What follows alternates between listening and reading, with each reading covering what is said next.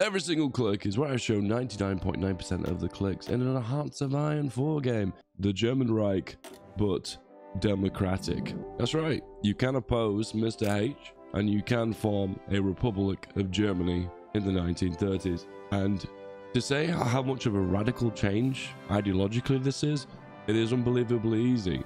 And how do you do it? Well, it's just one focus, all the way to the right. Oppose Mr. H. And all those bills you've racked up, well, we're going to forgive all of the debt.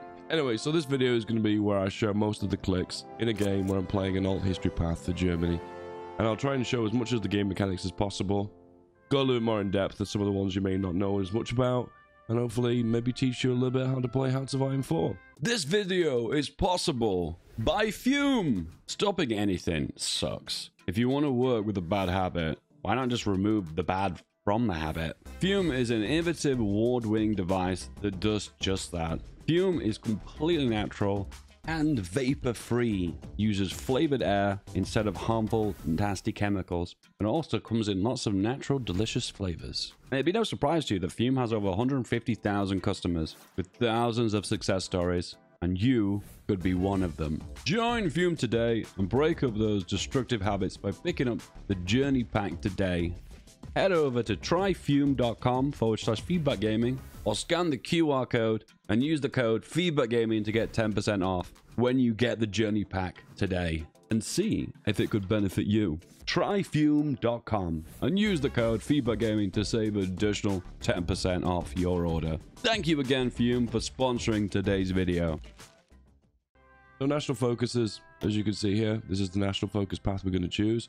Here you can pick your industry, pick your ideology, as well as pick some of the things that can boost your military and your army. In this case, we're going to go for the alternative history path for Germany, which is oppose, oppose Mr. H. So with every Hoi game, my advice is go across the top of the screen and care about all these buttons. Luckily in this game, we don't actually care about them as much as we would normally because lots of them are not even going to matter, which we'll show very soon. So we're about to get a civil war when this focus completes in 70 days. So I'm going to do shift, left click on the divisions, assign them to an army with a right click, and convert them all to the crappiest division we've got, which in this case is the horse. And we click OK. That means every single division here has been converted over. Alrighty then, we convert them all to horses. The way the Civil War works, and it works kind of the same way with every nation that has a civil war, is the armed forces get divided up between the two sides. However, the AI doesn't change the division template once the civil war is kicked off. Now I think about it, I don't think the AI ever changed its divisions. I think it just trains fresh ones and it updates the template. And with that in mind, that means you can kind of tilt the AI by giving them a kind of crappy division, in this case, the horse. I mean, it's not exactly the worst division, but it's not great either. All right, next up, we're going to focus on research. So research, you get four slots. That means you can research four things simultaneously. In this case, we're going to go for just basic industry. This is like the standard opening to every Hoi game. The reason why you go for this is it just gives you your industry that you want to kickstart. Most Hoi games go in two phases. It's the build-up phase, the preparation phase, and then the war phase. If you go for more industry stuff, in the preparation phase, they'd be more prepared for the war phase by having more factories. Does that make sense? What we're to do is focus on an artillery soft attack build. Something kind of simple, simple that's kind of easy to follow along with. I think what we'll do that is go for this one. Now, interwar artillery is interesting because this gives the equipment that you have to produce, which gives these stats. Now, this one, on the land doesn't give you the equipment, the actual raw equipment. It just gives us a bonus to soft attack for everything. So this one, you have to produce it to gain the stats. This one just gives it instantly on research. Plus, it gives some other pieces of equipment for tanks, but we'll worry about that later. We're going to focus on the artillery. What I just did there, by the way, is assign a MIO. And what that means is a MIO gains XP and consumes a little bit of political power. And it gives you a boost of funding when that research is done, which gives you XP towards MIOs. We'll talk about MIOs when we come to them. Alrighty then. Free civilian factories. I know the way the civil war is going to go. Germany gets split right down the middle, east and west. A little bit more gets given to the German Reich in the east. In this case, what I'm going to do is I'm going to build mills in these two locations. At the start of the game, we get MEFO bills, which gives a 25% boost to military construction. Plus, you've also got 10% to military construction as well. So that means you're going to get a big boost for these said regions. Some fascist nations in Horde start off with mobilization. Normally, you'd but want to start off with infrastructure, then transition onto factories. But in this circumstance, because it's a weird, wonky start, that's the reason why we play it a little bit differently. We don't need to assign our Air Force. We don't need to assign our Navy.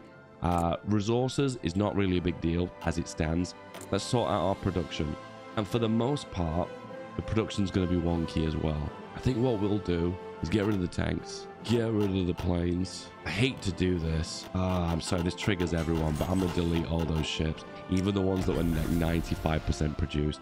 Tell me how mad you are in the comments. And all the other mills are going to get signed on to the artillery.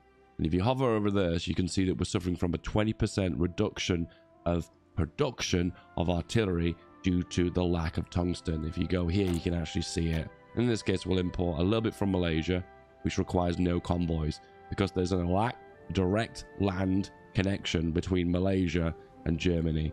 Uh, Why would this be a thing? It doesn't really make sense, does it? Malaysia's here, Germany's here, but the most profitable route is going to be by land. It doesn't make sense. But regardless, it's better because it means that we're not going to have our convoys intercepted at sea.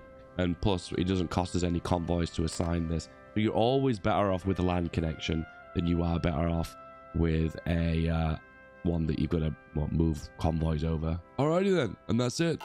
We can go five speed by either pressing five on the keyboard or clicking the fifth notch here, and then you can click space and also click on the unpause here, and there you go. We're going to go five speed. At this point, once again, it doesn't really matter with all the other setup. Normally, I'd train my planes. Normally, I'd move my ships around. Normally, I'd move my infantry around by garrisoning them. But in this circumstance, it's not going to matter. So when the Civil War starts, all these divisions, air wings, and ships are going to magically teleport. There is a little bit of a cheesy exploit we're going to do with this, where it's a little bit of a min-maxing, cheesy style strategy. And we're going to end up banking a lot of political power to do that. It'll become clear in the near future. All right, the mark, the army, challenges Mr. H. Boom, we have a civil war. There's two things that's happened here. We've still got all the horses, but also if you hold shift and left click on this, and then assign them to another army, you have 24 of these infantry here. They're very, very weak, but it doesn't matter. What we'll do is convert this to a proper infantry template. If we go into army and recruit, you can actually see what this template is. Once again, this isn't the best, but it works. And what we'll do now is shift left click on each of these two armies, click on the field marshal, assign a field marshal. Who have we got? We've got some interesting fellas here. I think we'll go for Gunther, and then we'll also assign generals. What I want to look for is an engineer. Engineer. Now, there's something I always forget about. I've done this dozens of times. But if you find someone who's an engineer but not a part of the officer corps, you can give him a new trait. And that trait is an artillery specialist, which gives a massive boost artillery as a part of your divisions. It kind of works a lot like uh, infantry specialist.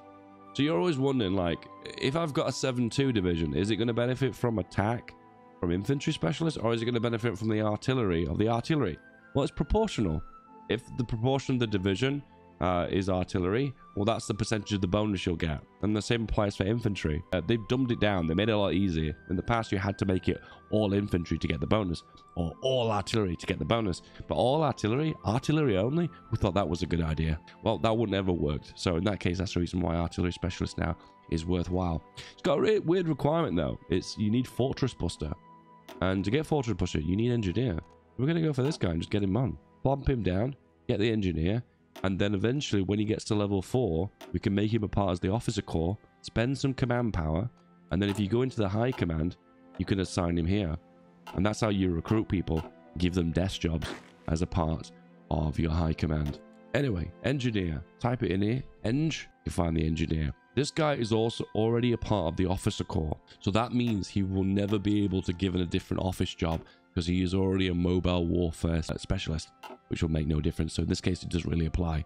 In this case, we're going to go for, which one could we go for? This guy or this guy? To be fair, they're both pretty good. And we'll, you know what, why not both?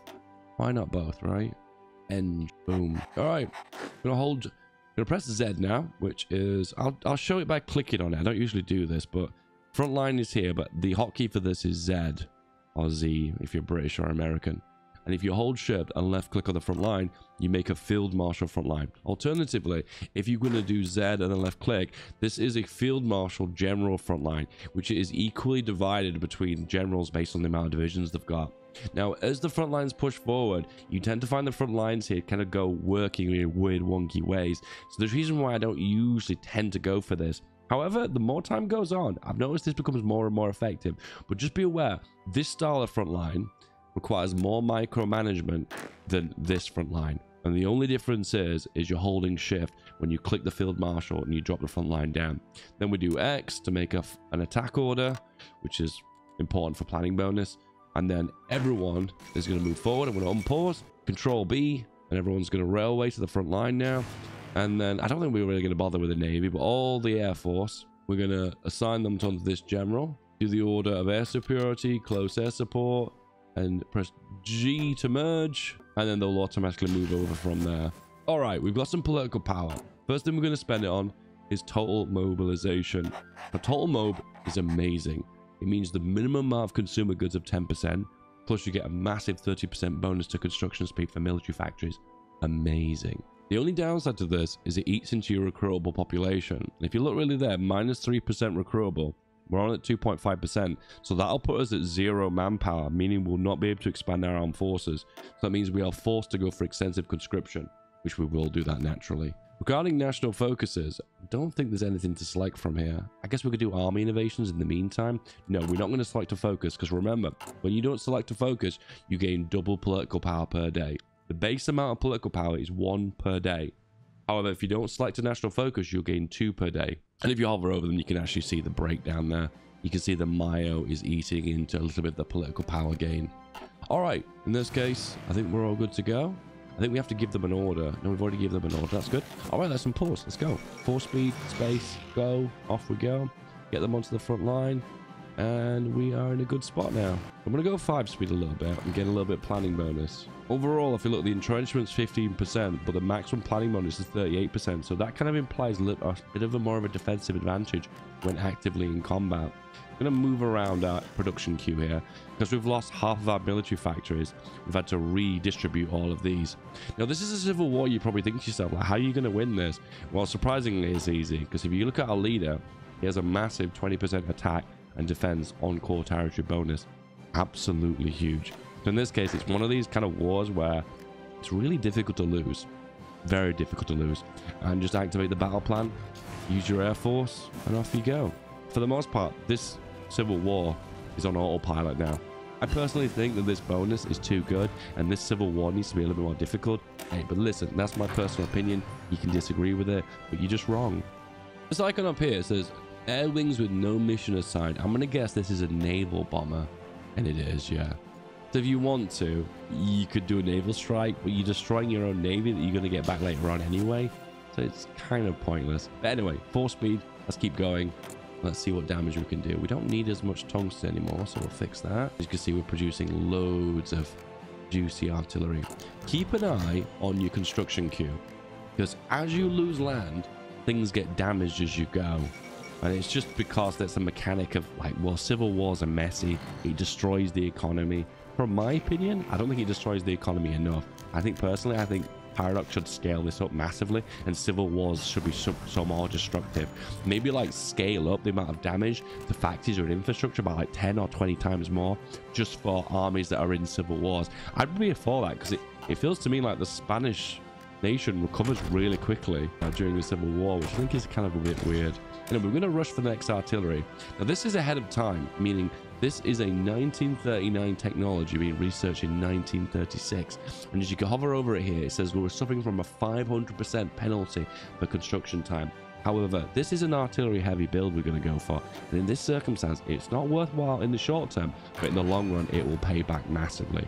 Five speed. Off we go. And MIO has unlocked a trait. I'm going to do what I do in every single game. Get rid of this. There we go. But what I'm going to do is go for the production bonus. So this one and this one. I'm holding shift, by the way. This production bonus too. And then I'm going to go for breakthrough, reliability, hard attack and breakthrough for artillery. Yes, yes, yes. Queue them all up in a row and therefore I don't have to worry about it. All right, we've got political power. Go for extensive conscription. Otherwise, you're going to zero out on your manpower But remember, when the war ends, you're still going to have total mobilization. It's, it's a weird glitch. Your war support should technically drop all the way down at the end of the war, but it still stays up. And in that circumstance, you can still have an amazing economy just from uh, riding total mob after the Civil War, which once again is weird in my opinion, but there you go. Dispersed versus concentrated. In the short run, concentrated is better. In the long run, dispersed is better. I mean, that's the short answer. I can go more in complex into that if you really want to, but overall, Disperse has never been as good as it used to be. Disperse, in my fair, all fairness, I think, sorry, Concentrate, in my honest opinion, needs a buff. Uh, it should give more factories per state. If buildings are really close together and it's concentrated, surely that means you can pack more factories into a region, so it should give more building slots. That would make sense, wouldn't it? And it would give more incentive to go for that long term. It's just really strange that you don't have the option. I'm kind of nervous here that the front lines have split. Can you see this? So what I'm going to do is select the, the field marshal, X, right click, and make sure there's a front line here. I can also cancel the order and reactivate it just to make sure. Look at this guy. He's leveled up to level 4, and he can now become an artillery specialist. But I need first a fortress buster. We're going to assign that by spending command power, and then we can go for artillery specialist. And then straight away you can assign him. And there he is. Where is he? There he is an artillery specialist. You don't really find many of these in Hoi 4 because it's kind of like the old meta, isn't it? It's the old doctrine. Artillery-focused armies were more of a World War One thing. World War Two moves towards armor. Anyway, we're going to assign a uh, army commander now, which gives ticking army XP. Super important in the long run, and you obviously know why. All right, once again, this Civil War is on autopilot. And as you can see, everything's damaged and everything's broke. Now, once upon a time, someone told me that assigning these to the top of the repair queue is not the most efficient way of doing it. Now, if you want to, what you can do is assign this to the top and use your civilian factories to repair your civilian factories, giving more civilian factories. Yeah, I said civilian factories three times. However, from testing, and this little individual told me this, it's kind of better just to leave them here because they auto repair very slowly anyway. Uh, so my advice is to leave them and just continue with your base construction. I think what we'll do is we'll finish this off and then we'll make civilian factories from off the top of it. All right, research. We're going to go for construction too because we're trying to build that economy up early game as you do. As you can see, we are completely demolishing the Germans as Germany. That makes sense. The worst enemy of the Germans, Germany. I'm to make sure I close this pocket here. There's like a really weird spot on the map here. I'm right clicking to tell them to attack over just to make sure we clear out this boyo. See, every time a state falls to the German Republic, or in this case, the junta, um, more factories get damaged. just the way it works. There's nothing you can do about that. Um, at the same time, I think we'll start making some civilian factories now. So I'll go for one here and one here. What I'm doing is holding shift.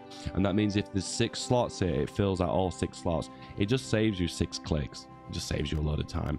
And you can see it shifted it automatically to the top. And here we go. Now, at this point, there's not really much you can do. In all fairness, my advice is just let it run out, let it do its normal thing, and go from there. The black shirts have organized in the United Kingdom. Did you notice at the start of the game, I had historical turned on? What's happened now is alternative paths are being happening around the world because I've gone for an alternative path, and that's hard coded into the game. Mr. H is Deed. If you want to speed up the Civil War, my advice is you can kind of beeline to the victory points just by right-clicking on them. As you can see, because of the 20% attack bonus you get from this guy, your ability to lose this war is actually kind of difficult. It's hard to lose the war. Does that make sense? Is it hard to? Yes. We're going to go for the Communist Revolutionary. I know you're probably thinking, what the hell? I thought you agreed you were going to go uh, Democratic. There is a reason for that. And at the very end of the video, you'll see it. And it'll just make the video kind of a little bit more interesting, a little bit different. Once again, I'm trying to make an entertaining video. It's not just meant to be a long-ass tutorial. That's boring. Anyway, we've got more mills back now, as you can see, because we're uh, repairing stuff. I'm thinking to myself now, what do I want to focus on? I focus on the artillery. I guess what we could do is go for a little bit of AA. Yeah, we'll go for that. As you can see, the broken factories appear at the bottom. So what I usually do is shift this to the bottom, and what I'm producing the most of, I'll let them take the blunt of the, the mills that aren't being used. But as you repair them later on, it won't be a big issue anyway. Boom! The Civil War has ended, and Germany is a mess. I'm going to just do a garrison here, which is V, move everyone over. All the bonus divisions automatically disband, and you're left with 14 divisions. Now, you've got a weird option here to what you want to deal with the leftover of Mr. H's crew. Um, if you go for this bottom one and imprison them, later on you do get the option to bring them back. And I'll show you that as a cool little Easter egg. It's just it's just a fun fun little Easter egg. Don't don't take it too seriously, okay? Just a bit of fun. All right, more research and once again working on production early game pays itself back in the long run. Production efficiency cap not only gives you production efficiency speed, but it also increases the maximum cap. You can see the cap if you go into production here, which is Y, and you can see this bar. It increases the bar from the maximum cap at 60% up to 70% when that research is done, but it also increases the speed that you gain more production efficiency. And the number will go higher the furthest you are away from the cap. Overall, it's just more raw production, so win-win. I'm going to go F3 right now, which is the air map mode. Select everything, right click here, 5 speed it, put them all here, G to merge, hold shift left click, and exercise everyone to level 3. Top that off as well, I'm going to select all of my navy, drag a big box, and press G and merge them all up, assign a, an admiral. There we go. We'll send these guys to uh, this port. Done. All right, modify the government. We've got another 150 political power. And in this case, we get an option to hire some more guys. In this case, I think we're going to go for this dude. The anti-F leader. F in the chat. Well, no F in the chat. F is definitely gone in the chat. Rip. All right, focuses now. We can do a national focus and we can go down our ideological path, which in this case is secure a new stay, which gives stability and clamps down on more F. F's definitely in the chat today, boys. So what a good phase is now, because it's more of a build-up phase, I'll move from making mills to making more civies to build up my raw base economy. In this game, I think we've got loads of bonuses to building construction. I think that comes a little bit later on. I think it's one of these ones, rebuild the nation. Okay, so you want to flip to your new ideology as quick as possible. So my advice to you is to start to get rid of the other ideologies. In this case, we're going to do anti-communist raids and then we'll do anti-fascist raids. Which, if anyone isn't aware of these, they give you a little bit more of your ideology that you want. You lose stability, but you end up with a net gain of a plus 2 stability overall. So you lose 10% to gain 12. Does, does that make sense? Anyway, dispersed industry's done. We're going to queue up some more cities. And make sure the ones at the top that are partially constructed are the ones that are going to finish next. We've got a new MIO trait. In this case, we're going to focus on soft attack, production, production, all the stats. I'm just hitting shift and I'm just queuing them all up. Once again, focus on the ones that cost more and therefore the ones that can definitely pay most back in the long run. Once again, it's a quantity versus quality decision. That's all it is. Okay, we've secured the new state. Now we're going to go for the different ideology we can select. These two focuses are important because this is the monarchist path and this is the democratic path. The reason why I'm going the democratic path, I just want to do something different, okay? Please pick the path that you most enjoy and what you find the most fun, all right? I'm here to maximize your fun, all right? do what you think is the best. What's that? What did that Doom account say? It's like a really famous tweet that the Doom account says, you control all the buttons that you press. It's so uh, blunt and straight to the point, but you can't complain about something if you choose never to press it. Does that make sense? Yeah, I found it. You control the buttons you press. The most based tweet. All right, more political power. Uh, in this case, I think we're going to do anti-fascist raids. So what I'm trying to do here is remove the ideologies that I don't want to gain more of the ideology that I want. So therefore I can go for the monarchist compromise quicker because you need 40% support for dem democracy. All right, we're going to train more army now. And uh, to do that, I think we're going to try and just build more of these guys up. Yeah, train as many as we can. I held shift to, to make sure we queue more of them up. I specifically say low priority equipment. And then I basically select a location that I want them to be popped on the map. I can also assign them to a general if I want. Or if I had a general order. Oh, no, I can assign it to the field marshal. Okay, I didn't know that. And what it just means is all equipment will go to the army first. The existing standing army. And then, secondly, it will go into the trained divisions. Here uh, first, and then here second. See, right now, I mean, the war's basically only a three months out. Right now, there's only one civilian factory that's left needs to be repaired.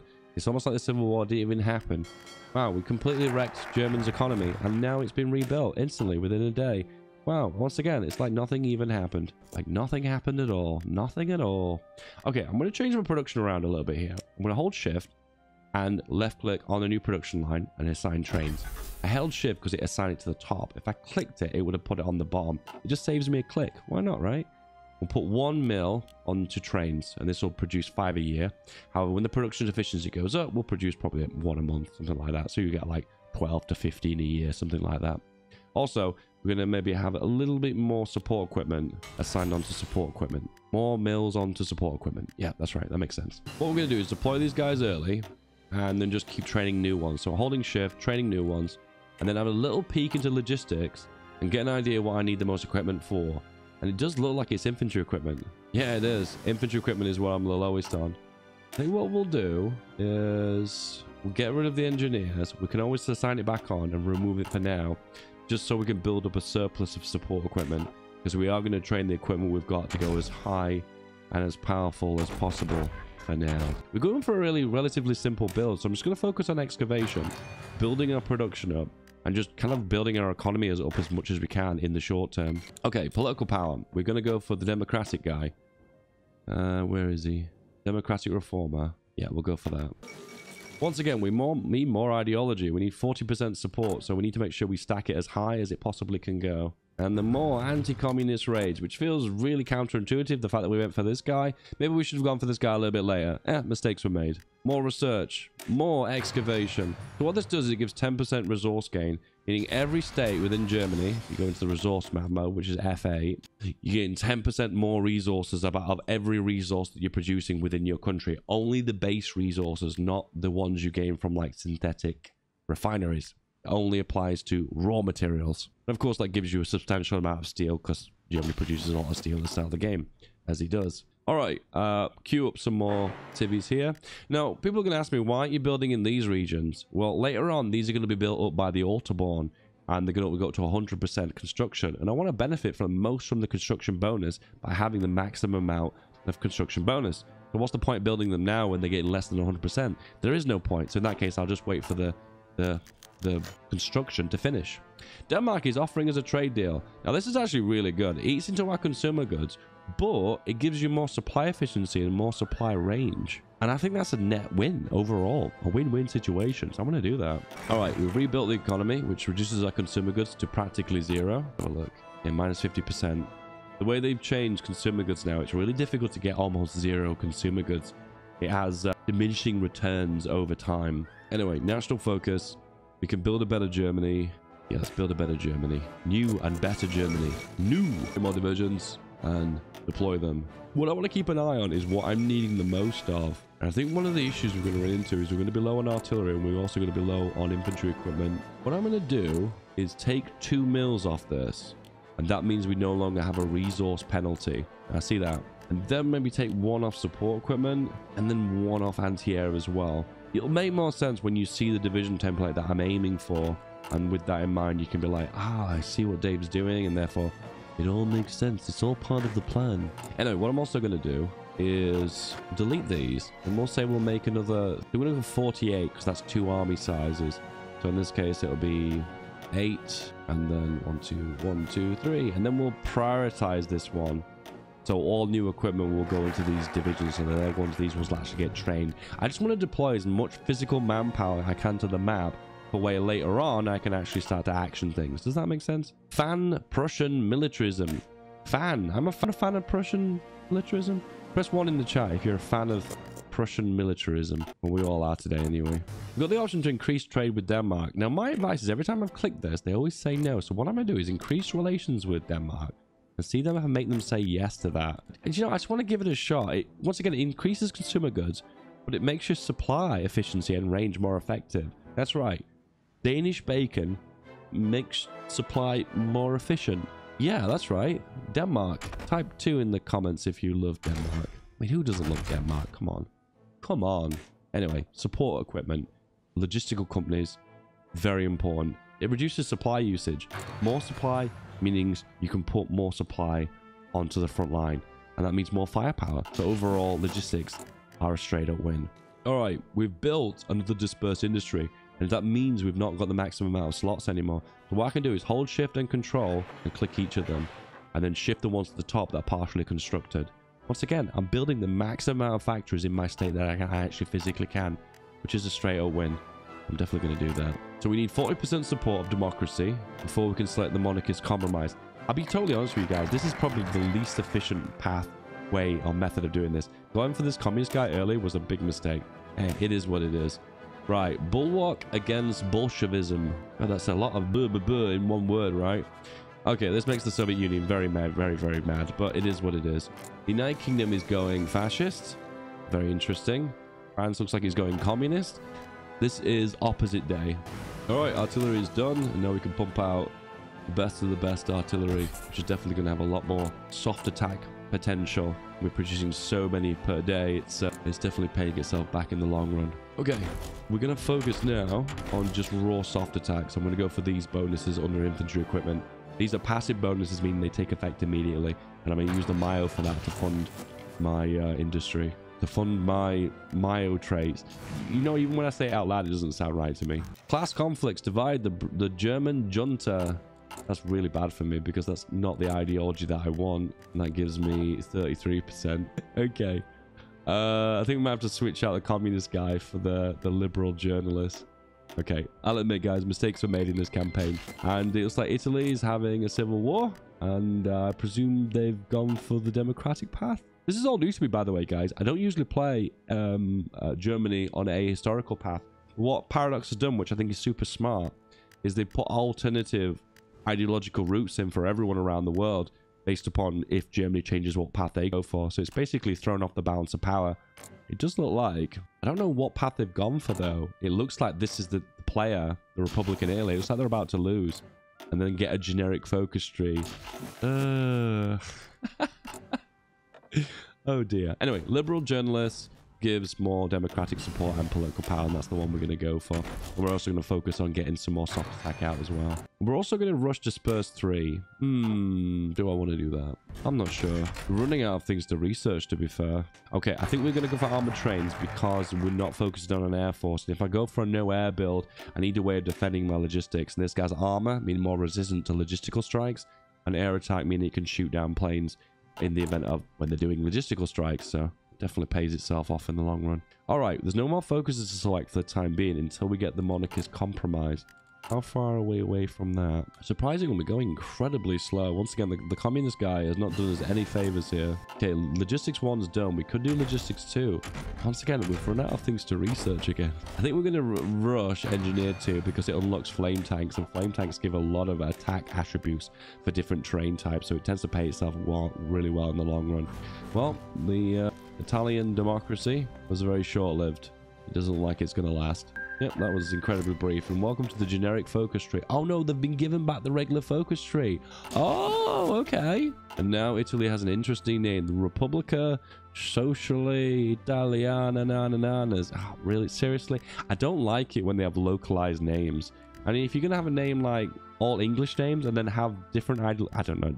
It, listen, it's just, once again, Dave is a very sensitive man. He gets upset by certain things sometimes, but it seems really strange to me how they would have localized names for certain countries, but then German military junta is in English. Does anyone feel that's kind of strange? Uh, maybe it's just the monarchist compromise. Doo -doo -doo. Boom. And this is the democratic path. Four. Germany. Okay, so we boost relations. Can we improve trade with Denmark? And they say yes. Yes. War between our countries will break this deal. Now, the reason why I've done this is Denmark usually falls to the Germans. So I feel to myself like, why not take advantage of some extra free bonuses, you know? I wouldn't usually be able to take advantage of, you know? Feels like a win. I don't know why I never want to do that. Anyway, what I'd like to do now is switch out this democratic guy with the communist guy again, which once again, in later in the video, it'll make sense why I'm doing this, which I'll, I'll show later on. Building some more civs more soft attack bonuses, uh, more divisions, need another 24 of you. 24, yep. Find those boys out. All right, everything's looking pretty good, and the production is looking pretty fine. This is an event that happens that can reduce your consumer goods. I have a feeling, though, my consumer goods are so low, this is not going to make any difference. So we've currently got nine civs being eaten by consumer goods. If I go for this one, it goes from nine to nine. Reducing consumer goods is no longer as strong as it used to be. All of them don't pay off as well as they used to. So it makes me even question sometimes if you're on uh, the one of the lower mobilization laws. makes me wonder if it's even worth it when you reach that point. That's kind of sad in a way because reducing consumer goods was one of my little fun little things I used to do. Kind of like my little my little thing that I don't know. Sometimes we, we're into different things. Okay. The Great Red Menace. All right. So what does this mean? Basically, the Soviet Union becomes the new bad guy of World War II, and and because of that, you there form a coalition, communist and government. Interesting. Uh, you form a coalition against the Soviet Union. Uh, let's go for Communist Revolutionary, which we're going to go for. Which once again will make sense as time goes on. Anyway, uh, yeah, the Soviet Union becomes the bad guy, and therefore you need to stop the Soviet Union doing what they need to do. I'm going to go for an agency and build up a spy network in the Soviet Union so I can see what national focus they're doing, and it'll give me an idea of how to react to them. I'm going to change on to the armored trains now. These are very expensive, by the way, so they'll build very slowly. But luckily, I think we'll be able to make enough just to keep a trickle amount in to keep our production of our economy going. Hopefully, anyway. Right now, we're running out of things to research. Again, I guess improving our NTR, I guess. Right, boom, we have a spy agency.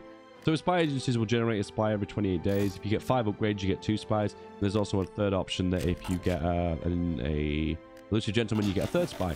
And also you get one plus spy for every major power that's a part of your faction if you go for a spy master and also when you build intel if you get enough intel on the civilian economy you can go here and it will tell you what national focus they're going for by right clicking it we have no intel on them right now so we don't know what their, their national focus for their nation actually is at the moment kind of blind to where everything's going. To close that so i don't click it. All right i think we're going to make some mills now actually. Yeah i think we're going to make some mills. I don't really want to build in the autobahn region though. I think we'll just pop those there and then there yeah. What upgrades I usually go for for the spy agencies S pills because it reduces the chance to getting captured, which is usually a good thing. Interrogation is pretty good. If you capture someone, you gain a bunch of intel for that. Localized training centers is usually pretty good too. I probably should have gone for that first, actually. I think we'll go for that one second.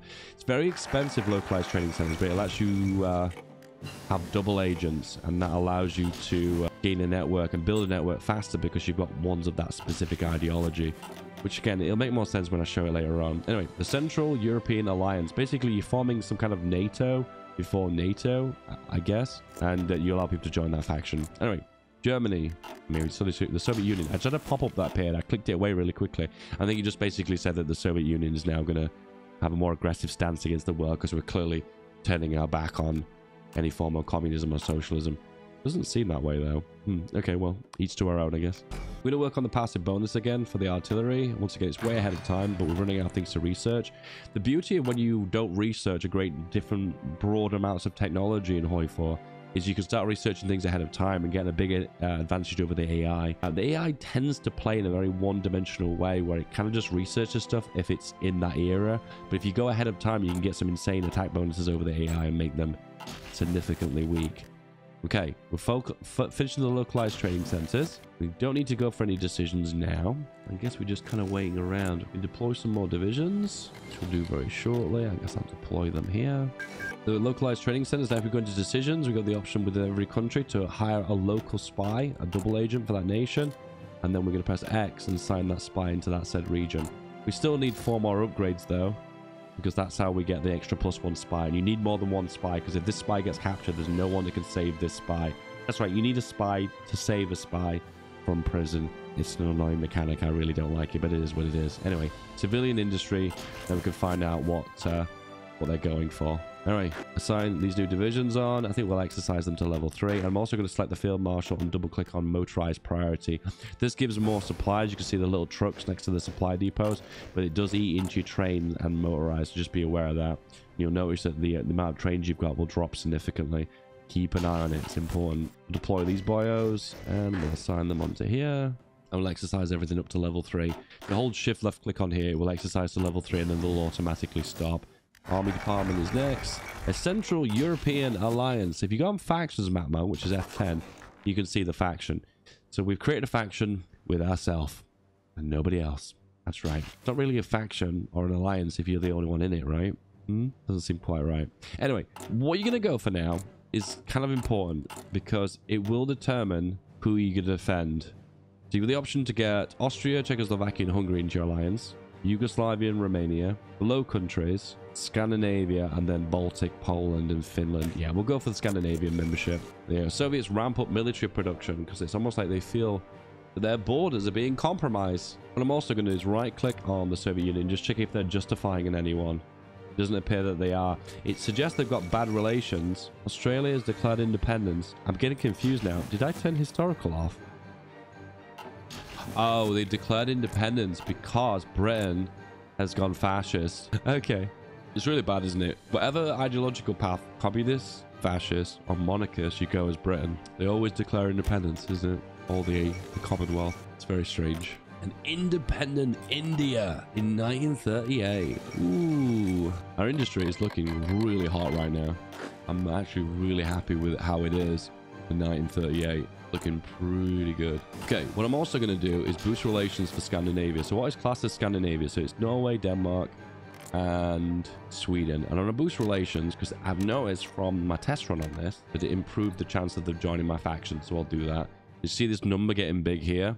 It basically means I'm getting better relations with them. All right, another army. 24 of you. Yeah, why not? Deploy them and then assign them automatically onto the field marshal. So just to break down what I'm doing here, these events are not applicable. Um, I trained 24 divisions, hold shift click click to add them to the queue. Then I tell them to deploy when they're done here. Then I also said low priority, meaning equipment goes to these armies first.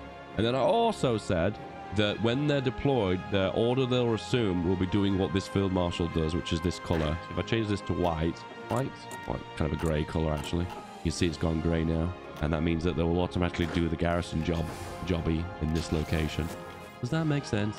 So Germany has asked, sorry, Soviet Union has asked for control of this eastern territory, which I think that's what they always ideologically do in the event of uh, the Eastern Bloc forming. Does that make sense? Eastern Bloc? Is it an Eastern Bloc? Yeah, it is an Eastern Bloc. Well, Central European Bloc. No, hang on. Central European Alliance Bloc. Boom! Denmark says yes, Norway says yes, Finland says yes, and they're all in the faction now. If we go into faction map mode, you can see that the grey faction has expanded. Kind of hard to make out because the, the lead of the faction is the same color as the faction. So we're grey and we're on grey. Grey on grey. It's hard to see, right? Definitely a, a graphic design failure. Anyway, next up, I think we're going to go for Finland or Poland. What do you think? I think Poland's for the win here. And improve relations with Poland. Max out that relations. Need to keep an eye on the Soviet Union now. From my test runs, they start to justify and attack people at this point. But we'll see how things go. We'll see. Start working on soft attack. And we'll also start to convert everything over to more of an ideal division template. Honestly, hand on heart, we weren't going to stick around this forever. So what I'm going to do is select this and duplicate it. I'm going to call this Arty for 10k likes. Oh my goodness, Dave. This is original. Change it to a different icon. Make it elite, which basically just means this equipment will go to this division first over everyone else. And then we'll add on artillery and support and recon. Am I happy with this? Yeah. Look at the amount of soft attack it does now. It's doubled the amount of soft attack. That is massive. And then I convert all of you guys onto this division. Boom. Have we got enough artillery though? Yes, we do. Oh, I'm so prepared. I'm so prepared. I'm proud of myself. I'm giving myself a, a hypothetical pat on the back. Exercise to level three. Also, we're going to hire the infantry expert. And also we're going to hire the artillery specialist. Uh, anyone else? No? Anybody else? No. Okay. We're going to press S to split on these to divide them into 24 stacks. I'm going to put an army here because of course, we already connected that front line, so why not? Rommel is going to lead the charge here. I'm just trying to divide them up here, my division skills aren't very good. There you go. Sign a general. If you want to coordinate them for the maximum attack, go for it. I'm really surprised a lot of these generals weren't part of the the N party. I'm, I'm almost swear that Albert Kesselring was a N word. That sounds even worse. We'll just say Nazi. Brady was a Nazi. But surprisingly, he survived. Oh, maybe because I chose to put them in prison. No, no, that's not true. That's not true. No, no, no, no, that's not true. We'll come back to that later, though. We'll come back to that later. Okay, Soviet Union are justifying on no one? No? Okay, just keeping an eye on them, right-clicking on them, and you'll see on here if they're justifying in anyone. Communists in government. Improve relations with the Soviet Union. That's actually kind of interesting. We have 49% for communism now. Man, that's going up so quickly. Anyway, next up, logistics. Pop logistics on. Next up, add logistics onto you, reducing supply by a hefty amount. That's good. And then to top it off, what else? There's something else I've not. Oh, yeah, armor. So the best armor, the best bang for your buck, is a medium flame tank. Now, light tanks work, but the stats aren't as good. But to be fair, it's not the stats, it's the terrain traits that play the biggest factor. Um, heavy tanks are good stats too, but they're more expensive. Look at the production cost difference 2.48, 3.6, and 12.8. So the, the sweet spot is mediums. So we'll go for a light turret. We'll flap a flamer on it. We'll assign it as a flamer. We'll add it as a MIO. Reduces production cost. Yeah, why not? And then we'll give it a turret. Save. Gives production cost. Mm, yeah, sure, why not? Sign those on. Produce. Go, go, go. Gonna make a bit more motorized as well. Oh, no, we don't need motorized. What am I saying? And then off we go. We'll add the flame tank on immediately. There's no more messing around. Add it on. And if you hover over it, you can see what it's doing here. Can you see that? So attack on rivers, 10%. Amphibious, 10%. Fortress, 10%. Urban, 15%. Jungle, 15%. You can see all the terrain bonuses are worth their weight in gold. It's definitely worth. Add it on immediately. And you're probably thinking, well, we don't have the equipment for this. We'll make the equipment for this. Trust me, we'll catch up.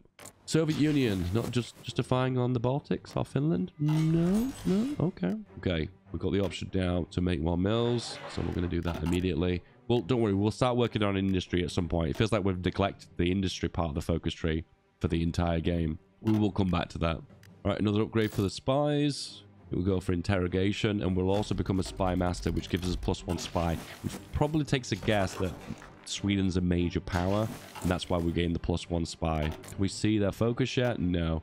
To know what focus we're going for, we need... I'm trying to read this right, there's so much big tooltip. There you go, active national focus 70%. It took me ages to read that. Yeah, so you need 70% intel to be able to read what national focus they're doing. We're quite a long way away from that, but eventually we will find out. And we can also look at who they're justifying on, which will give us a bit of an idea as well. I'm kind of tempted to uh, guarantee Finland. Yeah, I'm going to do that. Poland, good relations. Would you like to join our alliance? Yes, yes. And Finland has been attacked by the Soviet Union. Man, the timing on that is impeccable. Join the faction. And to top it off as well, what we're also going to do is get the Baltics into this membership too. Boom, boom, boom. Yeah, we're good to go. And I'm going to attack and I'm going to absolutely demolish the Soviet Union. The Soviet Union in the mid-game, the mid part of the game is insanely weak. Insanely weak. They suffer from all these hefty penalties on their armed forces. Their armed forces are absolutely dog poo at the very start of the game. Superior firepower? Yeah, I think so. Yeah, superior firepower. The most superior of the firepowers. And what we're going to do now is we are going to attack. I'm going to make a field marshal front line here. Pop you boys on here. I'm going to bring Poland into the war. Sweden would like to lend leases. Guns, I'm presuming? Yeah, they are. Yeah, okay. This army feels a bit redundant at the moment, but I'll still keep exercising, still keep training it. What I'm doing is I'm shift left clicking. I'm trying to make an encirclement on them here. I'll do S here and then move them here, then here, and then try and just get around the back of them. But as you can see, uh, they're absolutely demolishing their front line, so it's going really well. I'm also going to assign them on to Rommel and Z and X for close air support and air superiority. Also, what I'm going to do is naval invasion support. Oh, they're attacking the Baltics as well. Let's improve relations. They will not join our faction because they're already in a faction. They have joined our faction. I guess we just guarantee everyone then. Are we just the big guaranteer of Europe here? Yeah, I think we are. And for some reason, Rommel's on his own army. It does no point. Just assign it onto the main part of the army. And then delete key, click and delete them. And attack and be aggressive. Go, go, go, go, go. So what I did here is naval invasion support. Now, one little hidden thing about naval invasion support is it automatically will do shore bombardment. So manually, you'd have to put them on hold position and move them to the Gulf of Finland. But if you look really closely here, shore bombardment is happening. It's reducing their breakthrough or their defense, depending if they're on their attack or the defense, by 10.6%, which is pretty massive. And we are now the defender of the Baltics. And straight away, everyone is uh, automatically joining our faction because we're guaranteeing. And straight away, another faction. And all of that was kind of pointless because everyone's in our faction now. Okay. Yeah, I'm going to select a national focus for a little while because I want to bank political power. I need to be able to improve relations because I want to get more and more people into my faction. I usually don't care much about factions. I think factions are kind of annoying in Hoi 4, but in this one instance, they're actually kind of useful, so why not? All right. Um, another spy from the Soviets. Yeah, we can do that by decision. Open new decisions. You can do that. New spy. Assign it here. When we get new spies again, we'll assign them on, add them on, and go from there. Something about Iceland. What happened to Iceland? Iceland, oh, it's joined our alliance. Okay. And they're kind of quasi-independent now. Saw an option here for encirclement, so I'm going to take it. So I'm going to shift and then right click and just shimmy around the front line. I wouldn't usually do this, but there's an opportunity for, for encirclement, and I'm like, wait, why not? There you go, I've encircled them against the front line. Nice. Also, I see that I'm winning, but I'm not just, just winning by a little bit. I'm winning by a massive amount. So I'm going to hold control and press B, and they're going to railway to the front line, meaning that they're going to get into position quicker, so I can start striking them harder. I don't want them to organize. I want them to basically, I don't know, in this circumstance, kind of like hold hold themselves back and get not give them time to build up. So therefore, they're in a more of a, a sorry state, if that makes sense. Inventory expert. I'm almost certain this doesn't affect generals. No, it doesn't. So I don't think this is really applicable for what I'm trying to do. What I'm going to do is select this army, insert it into this theater, and then put it on low priority. What this means is equipment will go into this army first before it gets fed into this one. Then we'll auto-assign it onto here. You notice here we're having a fuel problem. I think it's the flame tanks and the air force that's doing that. But do you know what? It's not actually that bad that I actually want to care about it. No, at the moment I don't care about it. It's just not enough to be to worry me. Anyway, more soft attack, more guns. Request Lend-Lease from Sweden. Request it from Denmark. Denmark got guns. Denmark guns. Not many, but some. Uh, request Lend-Lease from Norway. Norwegian neutrality has been broken. And Poland too, maybe? Oh man, everyone's giving us the guns. Give me all the guns. Well, once again, another opportunity for encirclement here. Take it. I'm basically just selecting a bunch of divisions, shift and right clicking. I wouldn't usually do this, but I know that I'm winning a lot. So I realize in this case, like, what's the point? I mean, I might as well make encirclements when it's easy and the supply is good before getting encirclements deep into Soviet territory, which is going to be a little bit more difficult. And the spy has been captured. Once again, these mechanics in Hoi 4, I detest them in so many different ways, but we're doing an operation. We'll commence it. It'll cost us 200 guns. We'll prioritize the guns for the operation. I'm not happy, Bunny, but it is what it is. All right, encirclement opportunity here. Another opportunity to push northwards. A bit of a small encirclement, but uh, you know what? I'll take it. No, there was no encirclement. Oh, but these guys are pushing forward. Okay, no, that's all right. We have another opportunity to push further forward, and that's an encirclement. I'll take that. Class divides within Germany. Be careful here, because you hit 60% communism, you have an auto-civil war. I kid you not. Once again, you're probably still confused. You're like, what is Dave doing here? It'll make sense in a bit. Anyway, Dubian membership. So, Austria, would you like to join our faction? and as well as Czechoslovakia and Hungary. Improve relations to sweeten the deal. Got another spy now. We'll assign that on. And the spies are so far away from each other in the Soviet Union. It's so frustrating. You can't put them close to each other to take advantage of the spy network bonus. And once again, it's one of those mechanics of Hoi that I've never been a big fan of. But spies do give decent bonuses, so they are kind of worth it. So there you go. All right, we're close to the front line in a few areas here. So what I'd like to do is just beeline to these supply depot regions. To be fair, actually, you're not actually that close to most of them. But we'll push forward anyway to put ourselves in more of a defensive posture. Okay, armored trains we're behind on at the moment. That's a problem. So what I'm going to do is just assign five mills onto armored trains. I can see there's an improvement for artillery, giving more breakthrough. Yeah, why not? If I look into logistics, our guns are behind by 67 days. You can find that out by just hovering over them and it gives you an idea. So you know what I want to do? I want to deploy these, but then I'm going to convert them into a crappy horses. So this is a bit confusing to wrap your head around this one. So I realized most of the guns are going to be needed for the front line. But what I'm going to do is create a division that is going to be used for two reasons. One, it's for garrison template. And two, it's also something I'm going to use just as a template division that I can convert into something else later on. And that just means that all of the main equipment now gets reinforced into the main army and therefore gets used on the battlefield where it's actually needed. Ooh, interesting frontline opportunities here. We are kind of breaking them. The 6-2 is complete. I guess I could add recon on, why not? Improving truck production. That's interesting. Trucks are something that we're producing a lot of. Improving our doctrines too, extra defense. What I'm trying to focus on is going for this doctrine, the one that improves uh, soft attack for our line artillery.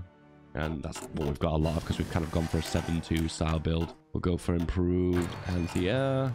Realize we're in a position here we can make an encirclement on Rostov. Rostov, famous for reasons. It's reasons that make Stalin very angry. And this is an interesting one. So when you capture this city, you have an option to hire a bunch of divisions for Germany. I don't think when you're fascist, when you're not fascist anymore, you get the option to do it. Ireland would like to join our faction. You know what? I'm going to say yes. Central Europe? Are you joking me? I didn't expect that. And I wasn't prepared for that. That puts us at war with Britain. What? Okay. Okay, I'm going to move these extra horse divisions here just to hold the Crimea Peninsula. I, I don't really want to defend it. The reason why I punked those guys there. I just want to put some divisions here to prevent them from coming back. I don't really want to be involved in this, but this one Polish division is trapped. I don't want to help him out.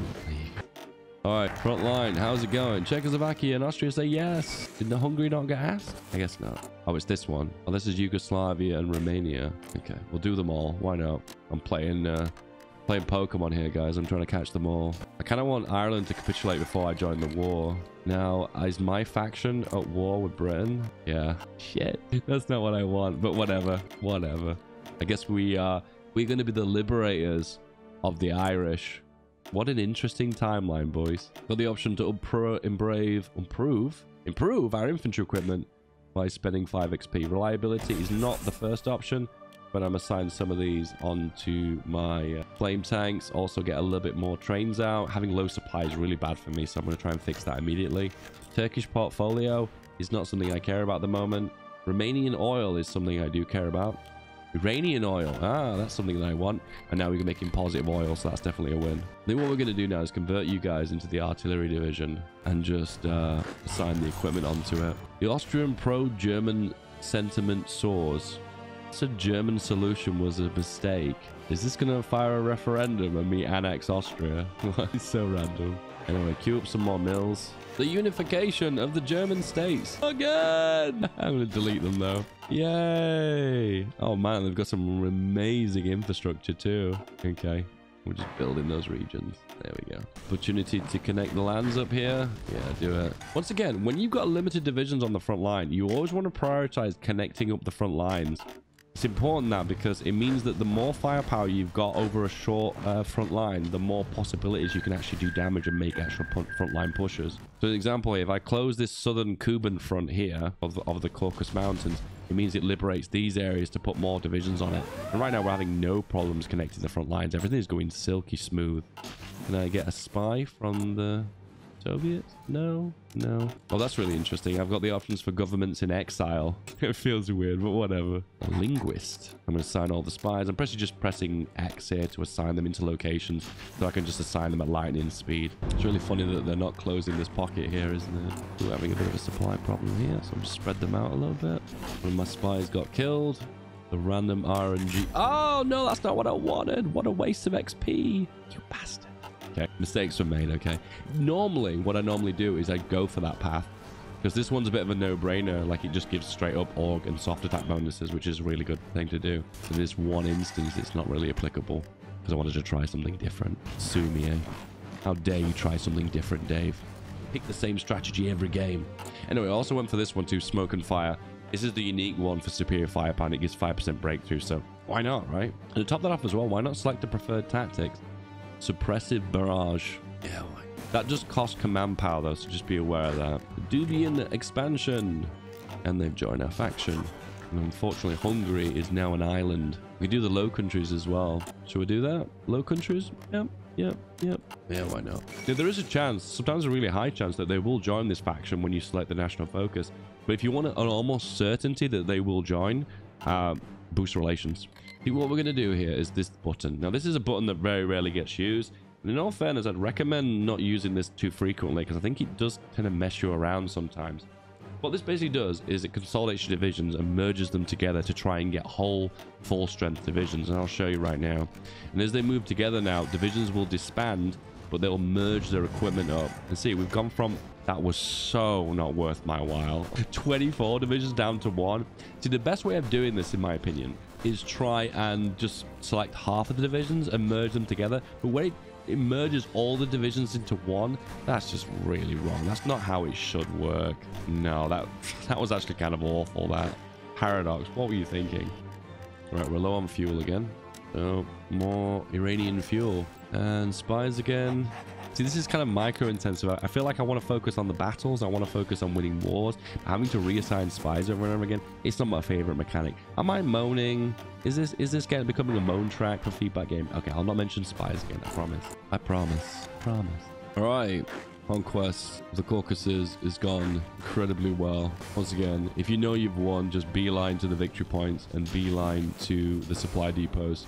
I think Baku is the last one. You know, the fall of Baku now we have no oil problems because this sweet oil is sorting us out. We have control of this state? No, we don't. It's controlled by Poland. Shit. There we go. Now we have control of it. We'll go local police force and assign the, the horse division. We're not getting oil from here yet? 98 oil. Still doesn't seem to be enough oil to keep the armed forces um. Anyway, front line closed B to railroad to the front line. Off you go. Bit of confusion here. I'll just explain what I just did then. So I wanted to select a occupation law that didn't hurt my uh, my equipment or my manpower by a significant amount. And to find that sweet spot, usually local police force or military governor, governor is that middle sweet spot. Now, however, if you want to build compliance, the best one in the game is local autonomy. That's only for democracies. And civilian oversight is a close second. But then a third option, which isn't the best, is local police force as well. But it won't, it'll gain compliance significantly slower. When it comes down to it, you, you've only really got a few options. Uh, but if you do want to get resources, I think I might have to go for harsh quotas actually. You could do that by selecting the state manually and then changing it. Do we have control of this? This is the way this appears is it appears in a way that I don't have actual full control of it because I don't control that bottom province.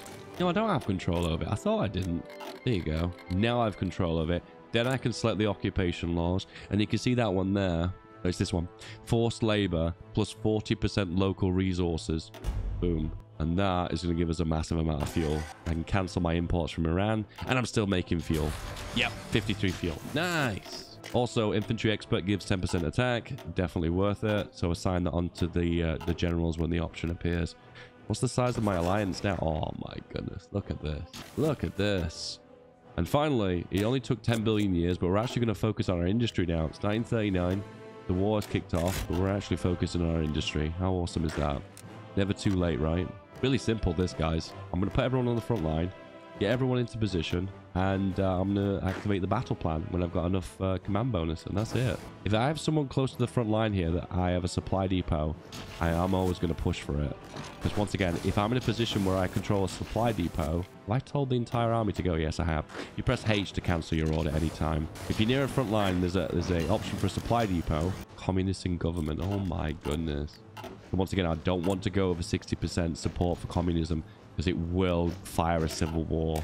I don't want that to happen. Anyway, yeah, we're pushing on Kazan here. There's a supply depot here. But if we're in a position where we control the supply depots on the front line before we start an offensive, we're going to be in a position where we, when we attack, we're going to definitely be a, a big advantage. Oh, there's one there as well. Right. Yeah. All right, assigning spies on again. This is the fun part of the game, right? I love this. Fun. All right, I think we're in a spot now where we can push. I'm going to go full aggressive and I put them on aggressive stance. So just a heads up here, something that's a little bit confusing to a lot of new players is, oh my god, more more communism. Um, yeah, communism, that's a confusing thing, isn't it? Yeah, um, when you attack and there's a battle plan order, um, they will only follow the battle plan if they're on balance.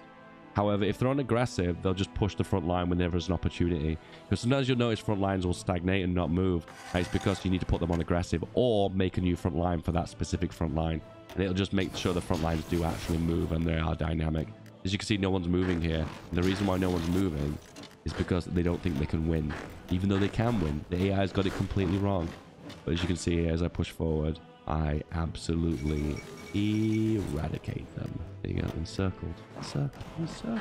Once again, another opportunity for a front line here and a supply depot. Right click, move. No. Tank production, plus 5%, why not? There's another, there's another plus 5% here for medium tanks as well. Better anti-air, why not?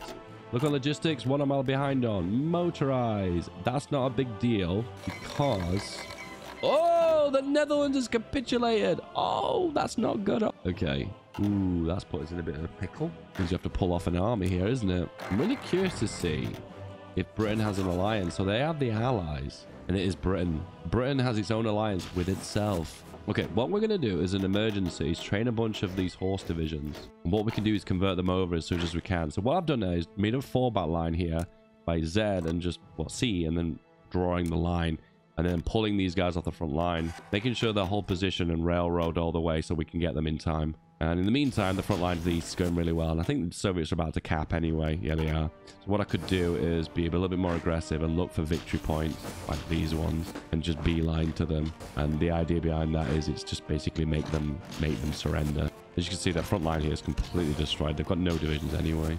Got perm here, victory point here, go here, go here. Because what I want them to do is I just want them to cap, and then, then that's it. Oh, we've got loads of our boyos arriving. Okay, never mind. I guess it was a false alarm overall. Go here. As you can see, dude, I'm doing Z, Z front line, just putting everyone on the front line, just moving everyone over, and then attack whenever needed. Meanwhile, Japan, not making many gains. India, independent. United Kingdom at war with the Dutch. Uh, if I'm thinking long game here, it might be a better idea to make a, a crappy battleship. It's my strategy what I call as the armored battleship or the...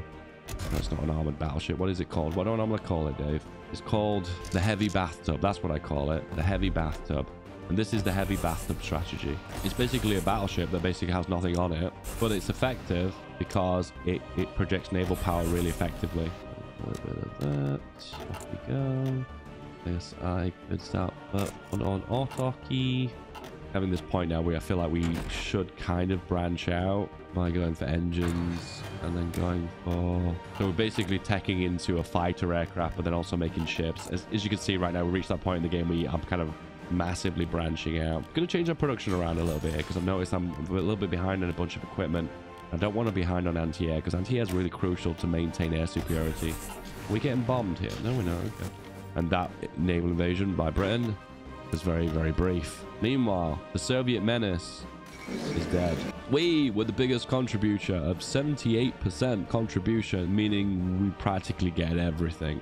Everything. I wish you could nicely divide up the Soviet Union with the land that you give them, but you can't. You can't. I'll take their navy and I'll get into a dispute with uh, Poland very shortly.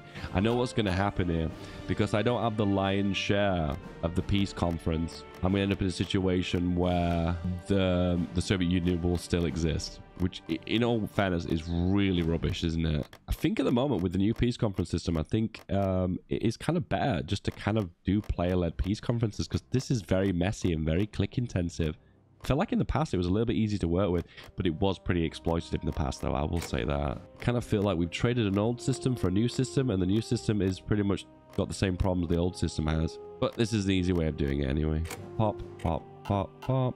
The usual easy method of doing it is you basically grab all the ports around the outside and then no one else can take stuff that's in the middle. That used to be an old strategy. I'm not even sure if it's even that applicable anymore. Oh, they've definitely taken like a highway in the center here.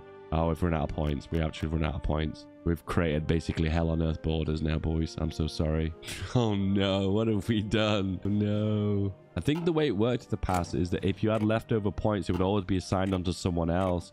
But I think with the current system, there aren't like points left over anymore. So if this is confusing for me, well, it's confusing for me as well. Unfortunately, this is the way it works. Basically, Poland and me had the most war score, and we've basically battled for land for the majority of um, the Soviet Union. And the Soviet Union now still exists because I can't take any more points, which I just feel, feel, personally feel like is a really bad system. But once again, I'm not here to have a big moan, all right? But the Soviet Union still exists and Stalin's still around. And Poland has taken some horrendous borders.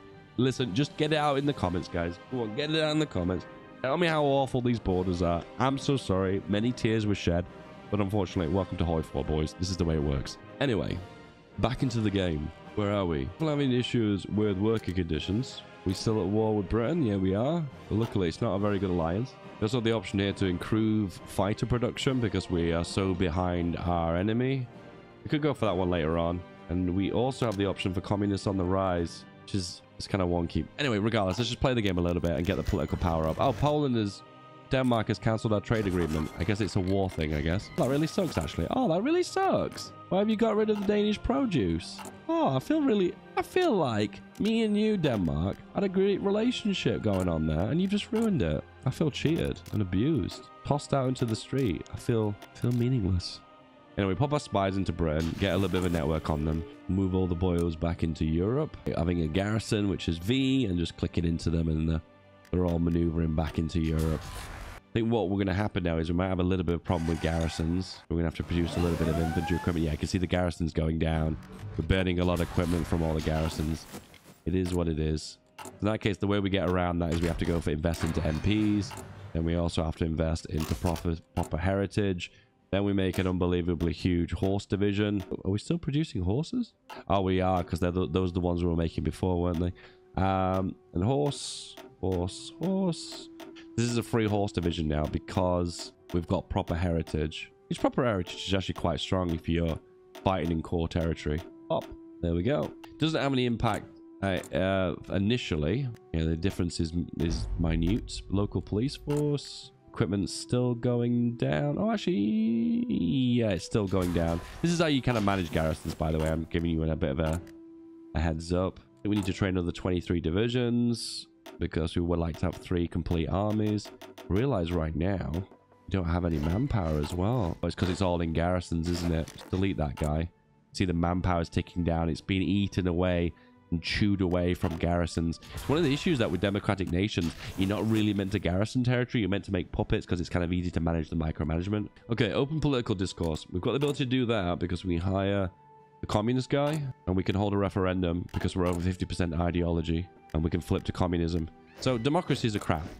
You, when no one's causing world tension, you can't justify anyone. I think the only people we can justify at the moment are Italy and Japan uh, because they're the only ones that have caused world tension. And then technically World War II is over. If we go communist, we have the option to uh, declare war on anyone. And we still have our super faction. Even though they probably aren't going to be happy about our super faction um, when the war's over. But we'll see anyway. Yeah, I think we can delete this army because we need the manpower. Right now, we are mad struggling with uh, manpower at the moment. We've got a few options, though. Uh, we could mobilize more, which is probably a, a, good sound option. We could also demobilize the economy a little bit to get that 3% recruitable back. But right now, it's, it's, having to deal with this resistance. And the only real long-term solution is to uh, get your compliance up. Unfortunately, that has a big net loss to resistance which is obviously becoming more and more of a problem. In the last 12 months, we've lost 24k, 25k manpower and 2.6k in production equipment. Class divides, divide Germany, and now we're over 60% ideology. We'll have an event that's going to pop up very shortly. Let's give us the option to flip ideology. The German Republic? I don't think so. Seem to be losing trucks, and I can't figure out where I'm losing them. I'm using trucks for motorized for here. There's no trucks being used here. It says I'm losing trucks. Communism on the rise. Boom. The Socialist Republic of Germany. Boom. We now no longer hate communism because we are a communist. That means we are a leader of a faction now that is communist and we formed it based on democratic means. Oh my goodness. Does this mirror real life? Maybe it does, maybe it doesn't. I don't know. It's up to, oh, it's up to interpretation.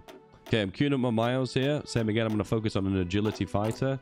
We can add rockets onto it later on if you want to do a little bit of ground support damage as well. Improving our guns. Improving our artillery. Some of these, when they improve reliability or breakthrough by very small amounts, it makes you question if it's even worth it. And you know what? Sometimes I even question that, you know.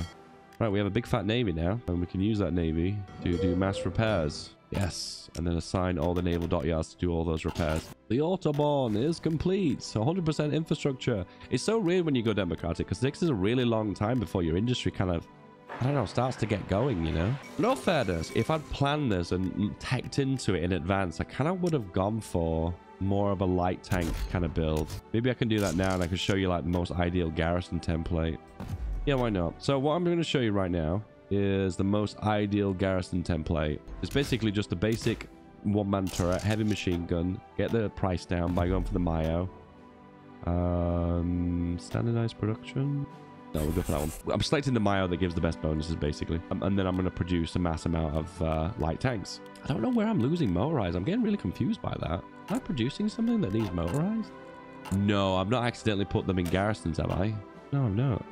Oh, I guess I'm using logistics, I suppose. Logistics uses uses trucks, right? Someone in the comments is going to tell me something I'm missing that's blatantly obvious that I'm, I've missed it by a long shot. Anyway, if I was to add on armored cars here, light tanks, this would incre increase the hardness to 16%, which is great because... Actually, are we even using this template? Is it this one? No, we're using this one. So I need to do that. Is it cavalry template one? Yes, it is. I'll shift that to the top because I keep losing it. Then what I do then is add on our light tanks because then it increases the hardness. And hardness is like raw defense against partisans. But I need at least 8k tanks to do that. Oh, I'll work on that. But in the meantime, what I can do is add an MP on. An MP reduces the raw amount needed, so we gain a bunch of big refund to equipment and uh, manpower. We'll add on a bit more to light tanks. Produce those light tanks, spit them out. feel like we're not producing enough uh, support equipment as well. But feeling if I attack France now, they're instantly going to join the Allies, aren't they? And then I'm going to have to have more land to garrison. And that's just going to cause more problems, isn't it? All right, we're going to make a fighter now. I'm going to go as meta as possible. It's our biggest engine we can do. uh, self-sealing, and if I had range, I'd go for the range, but we don't have range for now.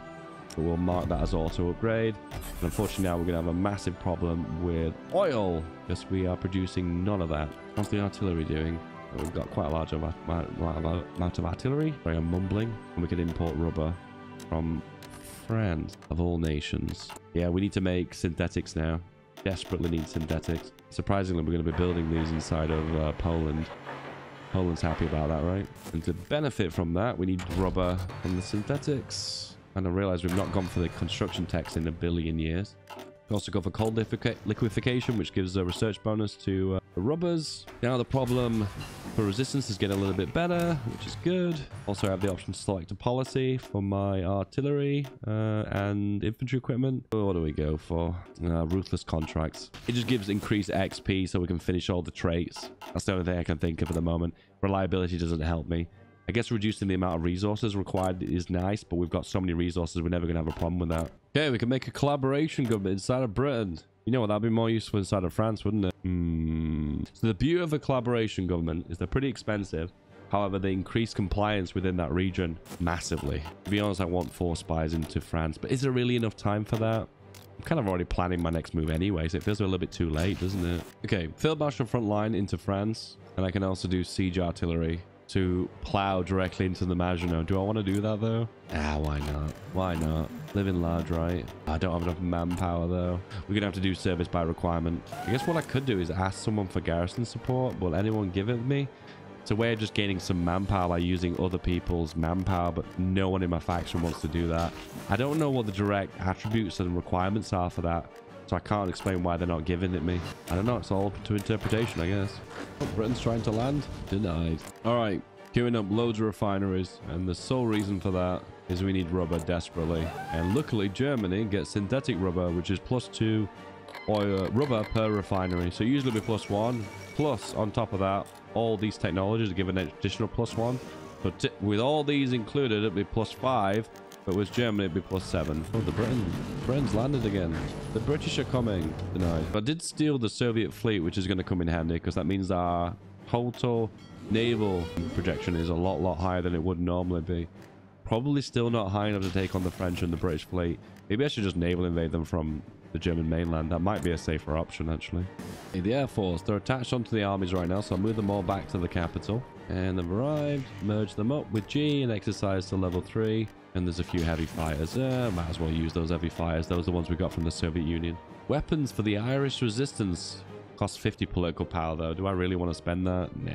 All right, adding on some light tanks on. So now we have a little bit more hardness as a part of our division. I'm tempted. Oh, I'm going to regret this to do... Oh, I can't do local autonomy because I'm, I'm communist now. Oh, I forgot about that. I was about to do local autonomy again. Alsace-Lorraine! Plow into the front line and siege artillery, and send in the air force. Off you go. I need Belgium to join. Are they going to join the Allies? Yes, they are. And off you go. Can I break the Maginot with pure power from the other side? No! Have they got disjointed government? They do, so they will still surrender if Paris falls and a few other cities. No, we did not break the Maginot. Oh my goodness. It all goes to Belgium? Seriously? All goes to Belgium? Really? Anyway, next up, uh, naval invasion time. Pop, pop, pop, pop, pop, pop. Let's see how well this goes. I'll assign the divisions on. Okay, so what I'm going to do is you can only assign 10 divisions on because that's like your fixed limit. So everyone gets, everyone else gets assigned on the front line to the south of it. But once again, I don't know if I'll have enough naval suppression to actually, sorry, naval supremacy to do the naval invasion. You need at least 50%. If you hover over here, well now F2, you can see I've got 36%. So I'm nowhere near where I need to be. I can reduce that by trying naval bombing this region. That's a possibility. I've got two battleships that just finished, so that's going to be handy. But for the time being, I don't have a strong enough air force to contest them. That's going to be a problem in the short run. I'm getting bombed right now, logistical strikes. So I'm going to put up my fighters to try and deny them a little bit. And once again, I don't want to put my fighters up in the English Channel because I'll not be able to contest them anyway because their air force is superior to mine. Is America in this war? No, it is just Britain. I think they're the only major power as well. Yeah, they are. I think we're going to reach the point now where we've got too much rubber. Yeah, we actually are. I think we've, we've over-rubbered. Oh my goodness, we've really over-rubbered. And then the rest of it can be civvies. Cue them all up by holding shift. There you go. And we're going to be the probably the biggest rubber producer in the world now. Oh, naval invasion by Britain! And denied. We'll let them land, because if they land, then I can push them back into the ocean, which is basically a free encirclement. They've even got marines as well. Royal Marines! Denied. I love that Britain does continuous naval invasions against me and then gets pushed back into the ocean because that means there's less in divisions when I land in their homeland. How many divisions do they have? They have quite a fair few. Okay. All right, I'm going to try a cheeky naval invasion here. And the way you do this is you got your fleet up, makes sense. Then I'm going to put all my air force here. And what happens is, is when you put your air force up, you get like a bonus to naval suppression, naval superiority. I keep saying suppression. My brain just doesn't want to say that word right and that will give us naval suppression, naval superiority of 55%, which means we can do the naval invasion. Okay, there we go. The way it works is you have a base amount of naval supremacy, and you can increase that further by having an air superiority bonus. Can you see that? Air superiority increases our ship amount by 63%. And there we go. We've got enough and we're landing and we're done. Nasty. Mean. Awful. All of the above. And I'm just going to push to the ports, the supply depots. Once again, it's doing two things. It's cutting them off. It's also giving supply for me. So it puts us in a really good spot. And there's any extra divisions, move them onto the front line. Other army as well. Bring them over as well. Just be aware that you might get intercepted when you bring them over, but don't worry about it. End of the day, uh, if you want to make an omelet, you gotta you gotta break a few eggs, you know activate the battle plan, put them on aggressive, and off you go. See these guys getting locked in here. It's best to close the front lines here because otherwise you don't want to have to come back to these at a later date. Keep pushing, keep going. The AI is a reluctance sometimes because the supply is low and you sometimes have to manually say, keep moving, keep going. Your supply is good right now. You can do this. Otherwise they'll stop attacking because the battle plans don't think you can win. It's one of the reasons why naval invasions don't fail, don't succeed very often for the AI because the AI just doesn't kick itself into gear and commit to the push. As you can see now, as we're moving forward, we've got Hull, which is a different sea zone, which means the supply situation is going to be a lot better. Now, it should be a lot, lot, lot, lot better. I'm going to shift and right click on Glasgow and Aberdeen too to make sure just keep going keep going. You can do this. You can do it. And okay, okay contribution. I am the biggest uh am I the biggest? 38% it's that moment again where I feel like this peace conference is going to go really bad I'm just going to take what I can take and then go from there. Basically spend all my points, contest all the ones that anyone else wants. We also have the option to take one state in Oslo because because somehow it's the catalyst for the civil war. I suppose the other stuff I've forgotten about is the overseas stuff. But do I really care about some of that? Take Ethiopia. Take Malaysia. Normally I'd, I'd care about Malaysia, but I, all my oil needs have been taken care of. Take their navy. Running out of points now. Don't really have that many points anymore. There you go. I've run out of points, so everyone else can take the rest. Even though now there's probably still a France in the world. Yep, there's still a France because there wasn't enough points. And also United Kingdom probably still exists as well. Yep, because there wasn't enough points. uh, all right, guys. I can tell that I'm moaning a lot. There's a lot of old man moaning going happening here, and of course the peace conferences are happening are really wonky at the moment. Whenever you're a part of a faction, and that's the reason why when I ever uh, conquer the world, I never join a faction because I always think peace conferences go really, really strange. But anyway, guys, I hope you enjoyed this democratic slash communist Germany as a super faction. Last time I changed the communist, they all left the faction. Well, half of them did anyway. And everyone stayed in the faction. That's actually kind of insane when you think about it. But hey, you don't have to go communist. If you don't want to, you can invade Italy as well as Japan. And then the, the world is your oyster. Hey, this was actually kind of fun. I enjoyed this. If you enjoy this kind of content, don't forget to like and subscribe. And if you enjoy this kind of content, you might like this one on screen as well. Give it a click. I'll see you soon. Bye-bye.